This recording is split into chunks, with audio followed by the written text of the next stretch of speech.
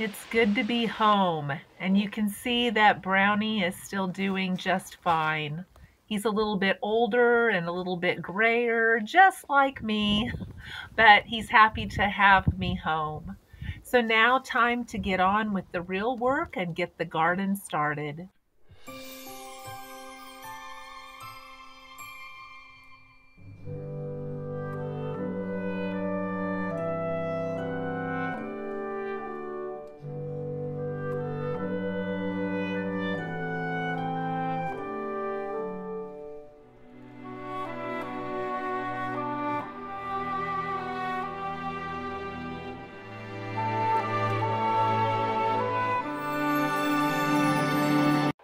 I decided to try to work smarter, not harder this year. So I have some old pallets that I'm putting some cardboard in the bottom and some dirt, and I'm going to try to make container gardens. I have some other container gardens.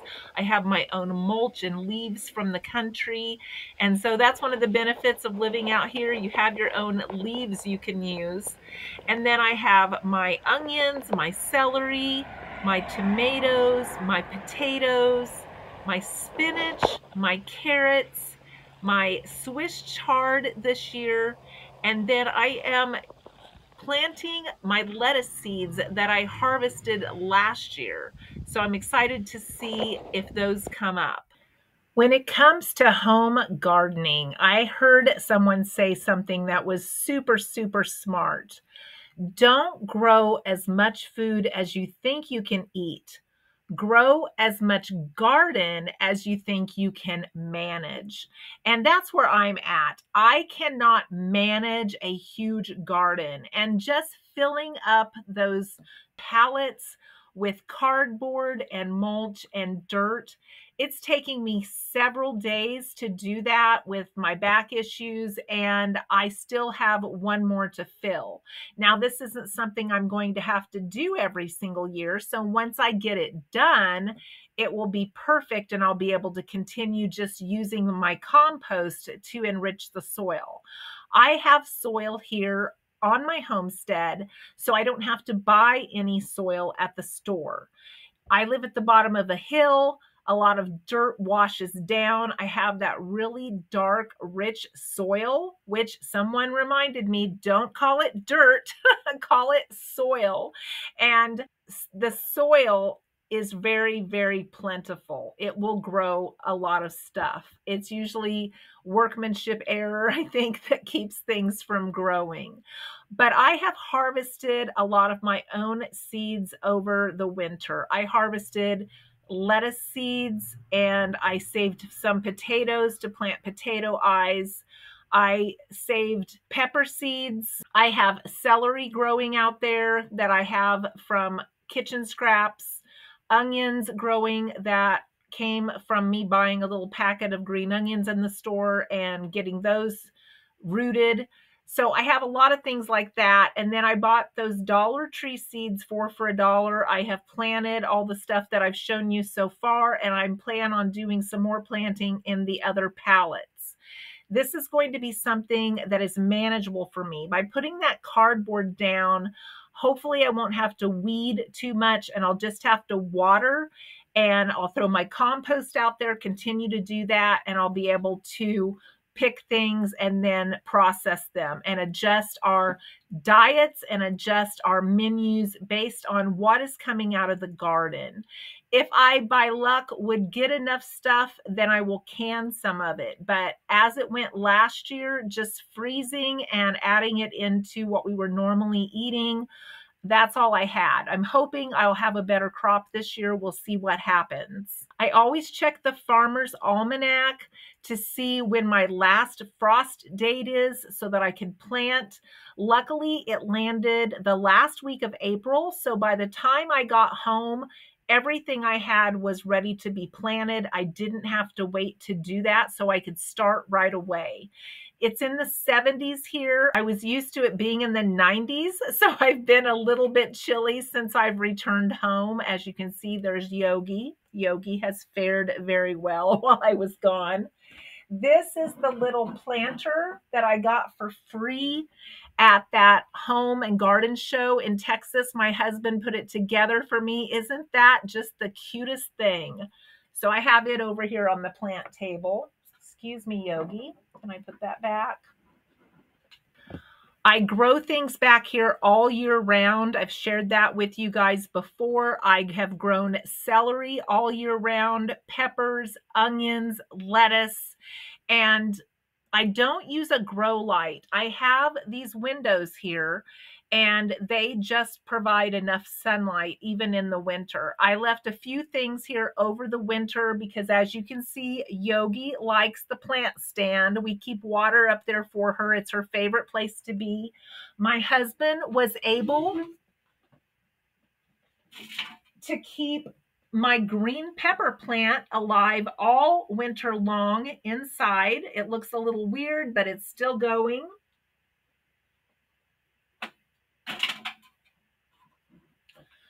I also have some flowers that will normally go dormant and they will die during the winter and then come back in the late summer and bloom in like September and October. I tried something new, moved them inside for the winter and my husband was able to keep them alive the whole winter. They did not go through their normal hibernation cycle. I put them outside and they started blooming within three days.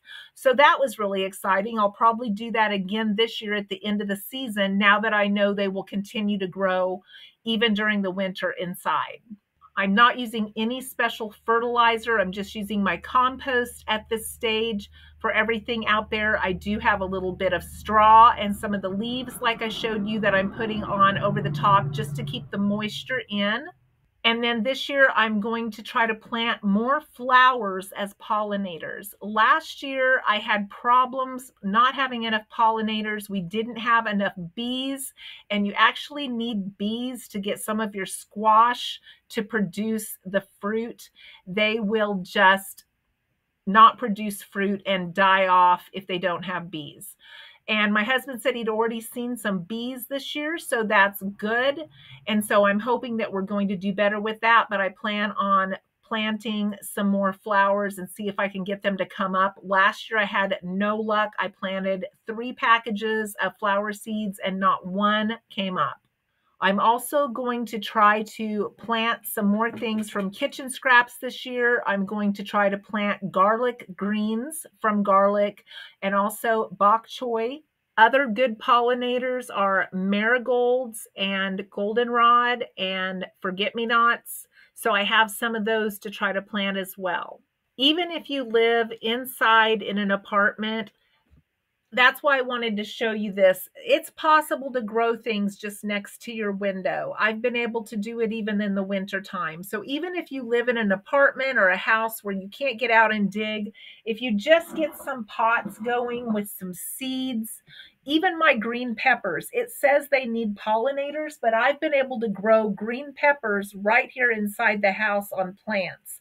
Now they haven't been as big as the ones that are outside, and they haven't been as many per plant. So maybe you can sit them outside for a little bit or keep them outside your door to do a little bit better. But as far as getting a good start going and keeping them going through the winter so I can put the actual plant out in the summer, that works really well as well. Now, I'm not a green thumb type of person. My dad really was. And I try and I continue to try. And every year I try a little bit more. But I have problems sometimes getting things to grow. So don't feel bad. Just keep trying. Especially if you harvest your own seeds, you have nothing to lose if you don't do that well because you haven't spent hardly any money. Now, I did study water bath canning and I do plan on trying to do some of that this summer. I realized from some of the videos I watched, I don't need any special equipment. And I had thought that I needed some special equipment to do that. But after watching those videos, I can use what I already have to get started. And then if I am successful with that, I can go ahead and purchase some more jars. Now, I did start making some of my own extracts, and I'm going to share with you in the next video how to do that. I'm going to start making my own extracts at home. It is super easy and I have all of the ingredients already. You can do this with lemons and limes as well. I'm going to peel off the outside of the Texas oranges that I brought home. I'm using it up with no waste. You want to leave as little bit of the white as possible of the peel showing put it in a jar and then fill it up halfway. And I have a large jar, so I'm not going to be filling it up all the way. And then you just want to double the orange amount with cheap vodka. That's all you need to do to make the extract. And then cover it in foil, store it in a cool area, you're going to want to shake this every week or so.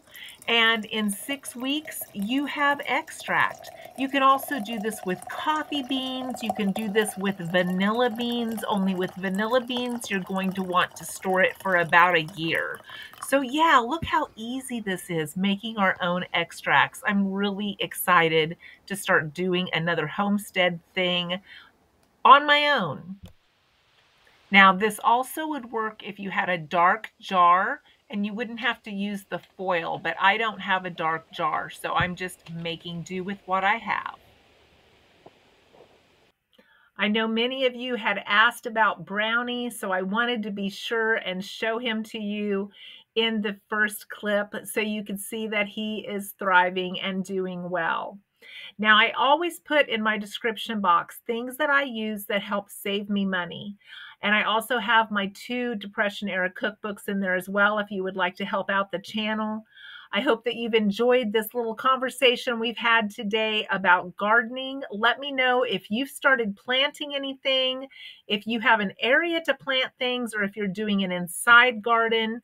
I have to do container gardens because I have too many roots in my yard and I've had to move everything clear out next to the road, next to my fence because I have so much shade that I'm even struggling to have enough sunlight. So let me know what difficulties you're facing in trying to grow some of your own food. I hope to see you in the next video and thanks for watching today.